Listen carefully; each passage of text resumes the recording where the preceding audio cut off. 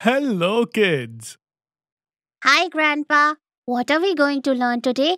We are very eager to listen. Sure. Last week we learnt about an unsung hero. How about one more today? Yay! I have been waiting to hear more. Yes, me too. So, whom shall we talk about? We want to hear someone who defeated the Mughals and was a threat to them. Ah, yes. There is one Raja Prithu. Let's get to know about him. Prithu, where he is from? Like all other unsung heroes who belong to our country, this super king hails from Assam. Assam. Yes. Grandpa, please tell us more about these real heroes. Please, Grandpa. Definitely.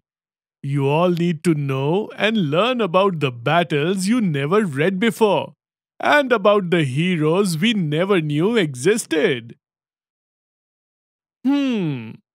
Have you heard about the Battle of Kamrupa? Kamrupa. No, we never heard about that. Oh, oh. So then, let me explain about King Prithu.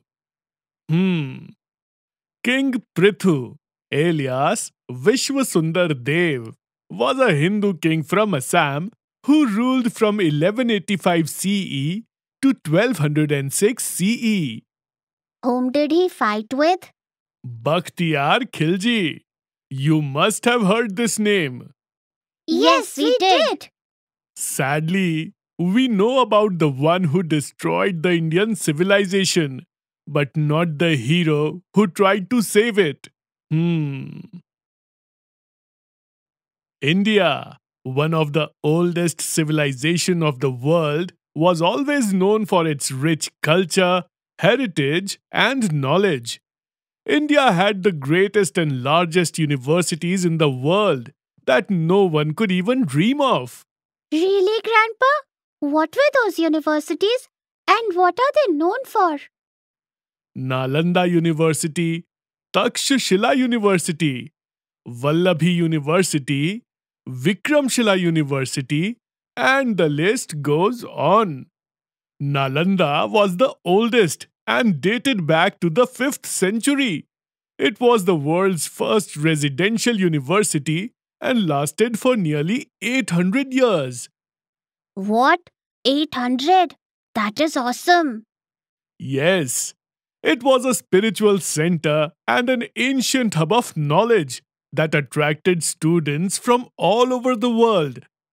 2,000 teachers and thousands of students, larger than any other knowledge center.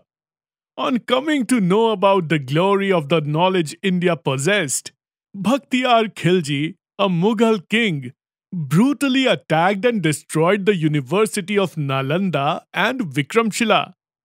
He slaughtered, beheaded teachers, Indian monks, and students in the campuses. He burnt them all along with the libraries, which were a huge source of ancient knowledge. That's terrible. How could he do that? Unfortunately, he did. The libraries were the largest in the world, and they were burning in flames for nearly six months. After this, he conquered West Bengal and then headed to conquer Kamrupa. They looted and plundered every village. Is there no end to his atrocities? Evil always has an end, and that happened in the hands of Raja Prithu.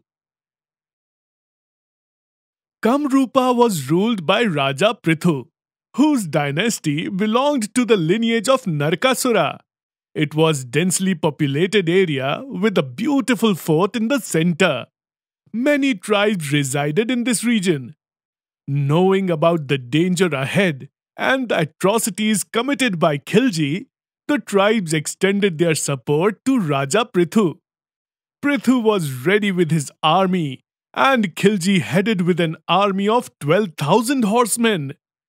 Khilji attacked Kamrupa, but To his dismay, on the very first day, many of his soldiers were killed by Prithu's army and tribes. Though Khilji sought help from the neighboring areas, he foresaw the defeat and started heading back. But Prithu and his army did not let him leave the battle. They attacked him on his way back. It was one fierceful battle between the two. More of Khilji's soldiers were killed. He tried to escape with the remaining few soldiers and reached the stone bridge. But they were shocked to see the bridge broken down by the natives. Unable to fight the fierceful army, Khilji's army jumped into the water and were washed away in the strong current of the river. Only Khilji and very few men survived the disaster. On the other end of the river, he was helped by his chieftain to reach Bengal. Khilji became terribly sick after he failed the battle. He was shattered, depressed, and sick. He could not attack, loot, or plunder any more villages after this.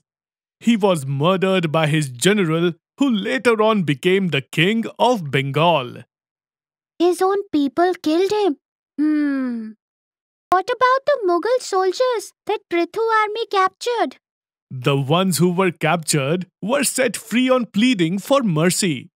They were given essential commodities for necessary living and permitted them to settle down. But why? They should be punished, isn't it? This is what is called dharma, that the Hindu kings practiced in warfare. Even the prisoners of war were forgiven when they pleaded for mercy.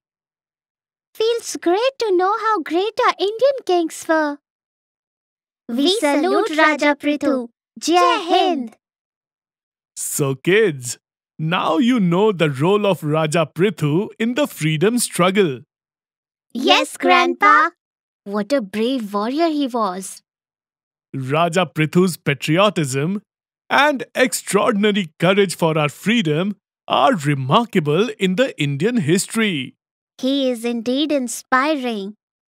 Grandpa, we would love to spend more time with you and listen more about these real brave warriors. I would love to. Next time, I shall tell you about another superhero. Till then, take care, children. Bye bye.